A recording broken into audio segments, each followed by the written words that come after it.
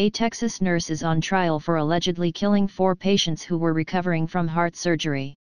William George Davis, 37, has been charged with capital murder of multiple people and aggravated assault in the 2017 deaths of four patients, John Lafferty, Ronald Clark, Christopher Greenway, and Joseph Kalina, who were recovering at the Christus Trinity Mother Frances Hospital in Tyler, Texas.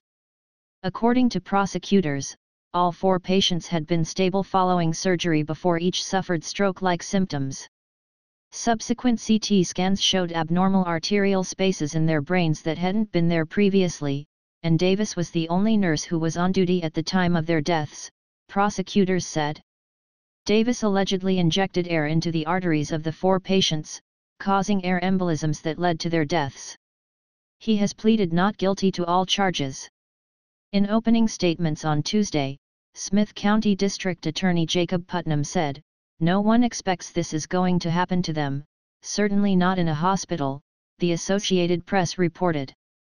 It turns out a hospital is the perfect place for a serial killer to hide, Putnam added. Davis's attorney, Philip Hayes, argued that his client is an innocent person who was simply in the wrong place at the wrong time. The trial is expected to last for four to six weeks. Prosecutors are seeking the death penalty.